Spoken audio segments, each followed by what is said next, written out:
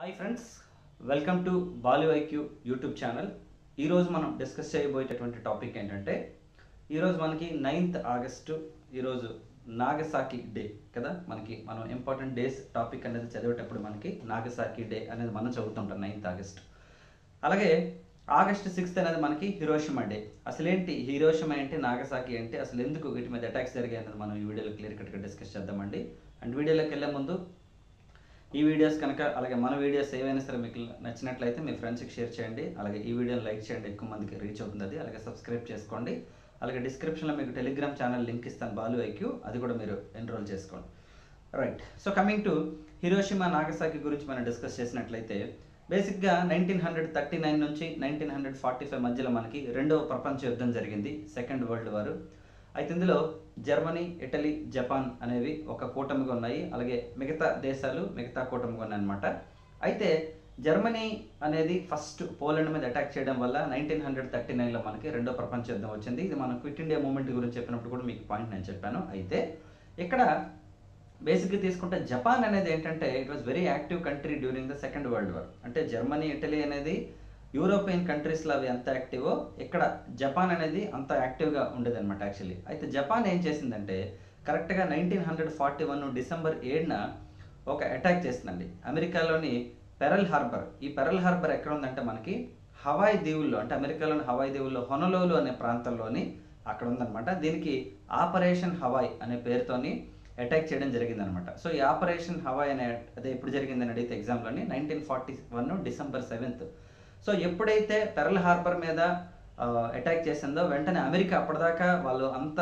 యాక్టివ్గా లేరు. ప్రపంచ యుద్ధంలో న్యూట్రల్గా ఉన్నారు యాక్చువల్లీ. వెంటనే నెక్స్ట్ డేనే మేము కూడా యుద్ధంలో దిగుతున్నట్టు జర్మనీ కూటమికి వ్యతిరేకంగా దిగుతున్నట్టు వాళ్ళు కూడా అనౌన్స్మెంట్ ఇవ్వడం జరిగిందండి. అయితే మరి యుద్ధం ప్రపంచ యుద్ధం అనేది జరుగుతోంది. అలాగే మన ఇండియాకి వాళ్ళ క్రిప్స్ మిషన్ బ్రిటిష్ గవర్నమెంట్ పంపించింది. తర్వాత మన ఇండియాలో quit India quit India movement జరిగింది. ఇవన్నీ జరుగుతున్నాయి ప్యారలల్గాను కానీ యుద్ధం చివరి దశకు వచ్చినప్పటికీ అంటే కరెక్ట్గా నైన్టీన్ హండ్రెడ్ ఫార్టీ ఫైవ్ మనకి వచ్చినప్పటికి ఏంటంటే ఆల్మోస్ట్ మనకి ఇటలీ కూడా లొంగిపోయే పరిస్థితులకు వచ్చింది.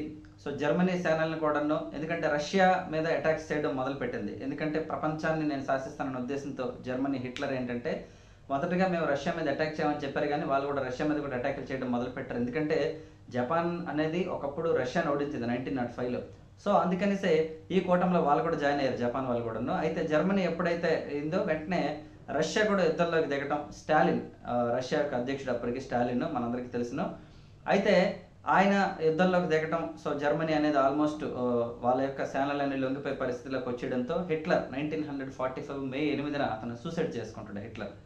సో అయితే అతను సూసైడ్ చేసుకున్న తర్వాత కొద్ది రోజులకి జర్మనీ కూడా ఏంటంటే మొత్తానికి లొంగిపోయింది అనమాట అంటే మేము యుద్ధం చేయలేని పరిస్థితుల్లో ఉన్నాము కాబట్టి మేము కూడా లొంగిపోతామని. సో మనందరికి తెలిసిన తర్వాత ఈస్ట్ జర్మనీ వెస్ట్ జర్మనీగా దాన్ని డివైడ్ చేశారు. మధ్యలో బెర్లిన్ వాల్ అనేది కన్స్ట్రక్షన్ చేయడం జరిగింది. ఐ థింక్ అది మనకు నైన్టీన్ హండ్రెడ్ ఎయిటీ నైన్లో అనుకుంటా ఈ బెర్లిన్ గోడని పగలగొట్టి మొత్తం ఐక్య జర్మనీగా మనకి ఏర్పాటైంది. సో అది ఒకటి అండ్ వన్ మోర్ థింగ్ ఏంటంటే అప్పటికే ఇటలీ అనేది కూడా ఎంతకుముందే లొంగుబాటు అయిపోయింది. తర్వాత జర్మనీ ఎప్పుడైతే లొంగిపోయిందో వెంటనే యూరోపియన్ కంట్రీస్ అన్నీ కూడాను అంటే యూరోప్లోనే ఏంటంటే ప్రపంచ యుద్ధానికి వ్యతిరేకంగా ఉన్న ఇదైతే ఆగిపోయింది అక్కడతో. అయితే నెక్స్ట్ స్టెప్ ఏంటంటే జపాన్ మాత్రం లొంగట్లేదు. జపాన్ లొంగాలనే ఉద్దేశంతో అప్పటికి అమెరికా ఏం చేస్తుందంటే అరవై తొమ్మిది సార్లు అంటే అరవై తొమ్మిది నగరాల మీద ఆల్మోస్ట్ చిన్న చిన్న బాంబు అటాక్స్ చేసింది. బట్ అప్పటికి కూడా అమెరికా అవి జపాన్ లొంగలేదు. అయితే జర్మనీలోని పోర్ట్స్ డామ్ అని ఒక ప్లేస్ ఉందన్నమాట. ఈ పోర్ట్స్ డామ్లో ఏంటంటే nineteen hundred forty five July ఇరవై ఆరున వెరీ వెరీ ఇంపార్టెంట్ డేట్ ఇది. Nineteen hundred forty five July ఇరవై ఆరున ఈ పోర్ట్స్ డామ్ అనే ప్రాంతంలో ఒక డిక్లరేషన్ని పాస్ చేశారనమాట ఎవరెవరు పాస్ చేశారట అంటే అమెరికా అలాగే చైనా నెక్స్ట్ ఇంగ్లాండ్. ఈ మూడు దేశాలు కలిపి ఒక డిక్లరేషన్ పాస్ చేశాయి. ఈ పోర్ట్స్ డ్యామ్ డిక్లరేషన్ యొక్క ప్రధాన ఉద్దేశం ఏంటంటే ఎవరైతే జపాన్ ఉందో అంటే ఏషియన్ కంట్రీస్కి సంబంధించినటువంటి జపాన్ అనేది ఇంకా యుద్ధం ఆపలేదు ఇంకా అటాకులు చేస్తుంది కాబట్టి ఇమీడియట్గా జపాన్ అనేది లొంగిపోవాలి. ఎందుకంటే రెండో ప్రపంచ యుద్ధం ఆగాలి అంటే ఎవరొకరు తగ్గాలనే ఉద్దేశంతో ఈ పోర్ట్స్ డ్యామ్ డిక్లరేషన్ వాళ్ళు అనౌన్స్ చేస్తారు. అయినా సరే జపాన్ అనేది పోర్ట్స్ డ్యామ్ డిక్లరేషన్ వ్యతిరేకించి యుద్ధాన్ని ఆపలేదు. అప్పటికీ కొన్ని బాంబ్ అటాక్స్ జరిగినా సరే వాళ్ళు లొంగకపోవడంతో అమెరికా ఏం చేస్తుందంటే కరెక్ట్గా nineteen hundred forty five August ఆరున ఫస్ట్ టైం అనమాట ఒక న్యూక్లియర్ బాంబుని అటాక్ చేద్దాం అనుకుంటా అంటే వీళ్ళు ఎంత చేసినా వినట్లేదని న్యూక్లియర్ అటాక్ చేద్దామని ఫిక్స్ అవుతారనమాట సో అయితే ఈ న్యూక్లియర్ అటాక్ అనేది అప్పటికి ఎవరండి? ఫ్రాంక్లిన్ డి రూజ్వెల్ట్ అమెరికా యొక్క ప్రెసిడెంట్. ఈ న్యూక్లియర్ అటాక్ మనకు తెలిసిన ఆగస్ట్ ఆరున మొదటి మొదటగా మనకి ఎక్కడ వేస్తారంటే హిరోషిమా అనే ప్రాంతం మీద. హిరోషిమా అంటే ఎక్కడ ఉంది మనకి జపాన్లో ఒక సిటీ ఇది. ఈ హిరోషిమా సిటీ మీద వేశారనమాట ఈ న్యూక్లియర్ బాంబుకి వాళ్ళు పెట్టిన పేరు ఏంటంటే లిటిల్ బాయ్. ఓకేనండి? లిటిల్ బాయ్ అనే పేరుతోని ఆగస్ట్ ఆరు మనకి నైన్టీన్ హండ్రెడ్ ఫార్టీ ఫైవ్లో జపాన్ మీద అటాక్ చేయడం జరిగిందండి. This is the first nuclear attack in the world అనమాట ఇన్ఫాక్ట్ ఓకేనండి? అయితే ఈ అటాక్ జరిగిన వెంటనే ఎందుకు చూడండి న్యూక్లియర్ అటాక్ అనేది జరిగితే ఏమవుతుంది? మామూలుగాను ఫస్ట్ మొదట ఏదో ఒక చిన్న శబ్దం లాగా వస్తుంది. ఆ న్యూక్లియర్ బాంబు అనేది కొంచెం కొంచెంగా ఇదైపోయి ఒక కెమికల్ వర్షంలా పడుతుంది అనమాట ఆ కెమికల్ వాన అంటే ఏదైతే రసాయనాలతో విషపూరితమైన రసాయనాలతో పడినటువంటి వర్షం ఏదైతే ఉంటుందో ఆ వర్షంలో తడిసి దాదాపు లక్ష ఇరవై తొమ్మిది వేల మంది జపాన్ పీపుల్ చనిపోతారనమాట ఇది జరిగిన మరో టూ డేస్కి ఆగస్టు తొమ్మిదిన ఏమైందంటే నాగసాకి అనే ప్రాంతంలో అటాక్ చేశారండి. నాగసాకి మీదకి పంపించిన బాంబు పేరు ఏంటంటే ఫ్యాట్ మ్యాన్. ఓకేనండి? ఫ్యాట్ మ్యాన్ అనే బాంబుని నాగసాకి మీద ప్రయోగించారు. ఇందులో కూడా దాదాపు అరవై నుంచి ఎనభై వేల మంది వరకు చనిపోవడం జరిగిందనమాట. సో భారతదేశ ఐ మీన్ ప్రపంచంలో మనకేంటంటే హిరోషిమా అండ్ నాగసాకికి సంబంధించి మనం తీసుకుంటే ఆగస్ట్ ఆరు అలాగే ఆగస్ట్ తొమ్మిది ఈ రెండు ప్రాంతాల మీద కూడా మనకి అటాక్స్ అనేది జరగడం అయిందనమాట. సో సో ఇవి ప్రపంచంలోనే న్యూక్లియర్ అటాక్ ఫేస్ చేసినటువంటి దేశాలు. అయితే ఇలాంటి న్యూక్లియర్ అటాక్స్ అనేది జరగకుండా ఉండడం కోసం అనేది వాస్తవానికి కొన్ని అగ్రిమెంట్లు ఉంటాయన్నమాట మనకి. ఓకే నాన్ ప్రొలిపరేషన్ ట్రీటీ అంటారు మనకి ఎన్పిటి అగ్రిమెంట్ ఉంది యాక్చువల్లీ ఏంటంటే దీని ప్రకారం ఏ దేశం కూడాను అణుబాంబుల్ని తయారు చేయడం కానీ లేదంటే ప్రయోగించడం కానీ చేయకూడదు. ఓకే ఒకవేళ చేసినా సరే అంటే చేయకూడదు వాస్తవానికి. ఎందుకంటే యుద్ధాలు చేసుకోవచ్చు కొన్ని కొన్ని ఉన్నప్పటికీ కూడా దాన్ని కూడా లిమిట్స్లో ఉండాలి. ఎందుకంటే అంతర్జాతీయ సరిహద్దు బార్డర్స్ అగ్రిమెంట్లను బేస్ చేసుకొని చేసుకోవాలి తప్ప ఇష్టం వచ్చినట్టు చేసుకోవడానికి కుదరదు. సో అలా ఏంటంటే మనకి ఎన్పిటి అగ్రిమెంట్ ఉంది. అయితే భారతదేశం కూడా న్యూక్లియర్ అంటే న్యూక్లియర్ వెపన్స్ కానీ లేదంటే న్యూక్లియర్ అటాక్స్ కానీ ఓన్లీ యుద్ధం కోసమే కాదు కదా. మనకు విద్యుత్ సంబంధాలు అవ్వచ్చు లేదంటే ఆమె విద్యుత్ శక్తి డెవలప్మెంట్కి కూడా వాడచ్చు. అయితే ఫస్ట్ టైం భారతదేశం కూడా నైన్టీన్ హండ్రెడ్ సెవెంటీ ఫోర్లో ఓకే ఫస్ట్ టైం అనమాట అంటే అణుపరీక్షలు నిర్వహించింది. జనరల్గా అణుపరీక్షలు ఎక్కడ నిర్వహిస్తారంటే వాస్తవానికి ఎడారి ప్రాంతాల్లో నిర్వహించాలి. ఎందుకంటే జనసంచారం ఉన్నటువంటి ప్రదేశాలు కనుక నిర్వహిస్తే ఆ రేడియేషన్ తట్టుకోలేరు ఎవరన్నా.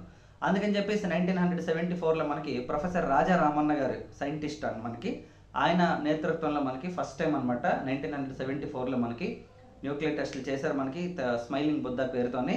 అయితే జనరల్గా న్యూక్లియర్ టెస్టులు జనరల్గా ఎందుకు చేయరు అని అంటే న్యూక్లియర్ టెస్ట్ అనేది చేస్తే ఏమవుతుందంటే హై లెవెల్ ఆఫ్ రేడియేషన్ అనేది మనకి వస్తుంది అనమాట విపరీతమైన రేడియేషన్ వస్తుంది.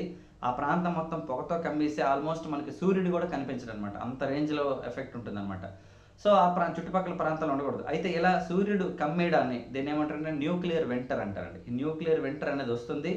అండ్ అలాగే అక్కడ ఎవరైనా ఉన్నా సరే ఆక్సిజన్ అనేది ఆగిపోతుంది. ఫోటోసింథసిస్ కూడా జరగదు. ఎందుకంటే ఫోటోసింథసిస్ అంటే సూర్యుడు కనుక కిరణాలు లేకపోతే ఫోటోసింథసిస్ అంటే మనకి ఫోటోసింథసిస్ జరగలేదు అనుకోండి. ఎగ్జాంపుల్ ఆటోమేటిక్గా మనకి ఆక్సిజన్ అనేది ఫామ్ అవుతుంది కాబట్టి. సో దీ సిస్టమ్ని అంటే ఈ విధానాన్ని ఏమంటారు? న్యూక్లియర్ వెంటర్ అంటారు. సో భారతదేశం మనకి రెండు సార్లు న్యూక్లియర్ టెస్టులు చేసింది అనమాట ఒకటి నైన్టీన్ హండ్రెడ్ సెవెంటీ ఫోర్లో రెండోది నైన్టీన్ హండ్రెడ్ నైన్టీ ఎయిట్లో మళ్ళీ రాజస్థాన్లోనే చేశారండి మనకి. అప్పుడు అబ్దుల్ కలాం గారు అనమాట మనకి సైంటిస్ట్ అండ్ వాజ్పేయి గారి ప్రభుత్వం అనమాట అప్పటికి రన్ అవుతుంది. సో ఇలా మనకి ప్రపంచంలోని న్యూక్లియర్ అటాక్ జరిగినటువంటి ఒకే ఒక దేశం ఒకే రెండు నగరాలు ఏవంటే ఒకటి హిరోషిమా రెండోది Nagasaki. August sixth August ninth ఎప్పుడు మనకి ఎగ్జామ్స్లో అడుగుతూనే ఉంటాడు. ఒక ఆగస్ట్ సిక్స్త్న నా హిరోషిమా మీద వేసినటువంటిది అయితే మనకి లిటిల్ బాయ్ అలాగే ఆగస్ట్ నైన్త్ వచ్చేసి మనకి ఫ్యాట్ మ్యాన్ అనమాట ఈ రెండు గుర్తుంచుకోవాలి. అలాగే అప్పుడు అమెరికా అధ్యక్షుడు వచ్చేసి ఫ్రాంక్లిన్ డి రూజ్వెల్ట్ అలాగే మనకి పోర్ట్స్మాన్ డిక్లరేషన్ అంటే ఏంటి గుర్తుంచుకోవాలి. అలాగే హిట్లర్ సూసైడ్ చేసుకోవడం అంటే eighth May May nineteen hundred forty five అది. And at the same time Pearl Harbor మీద అటాక్ చేసిన డేట్ కూడా important nineteen hundred forty one December seventh అండి. సో ఈ పాయింట్స్ అన్ని మీరు గుర్తుంచుకోండి. దీన్ని ఆపరేషన్ హవాయ్ అంటారని కూడా చెప్పాం మనం ఈ వీడియోలోని.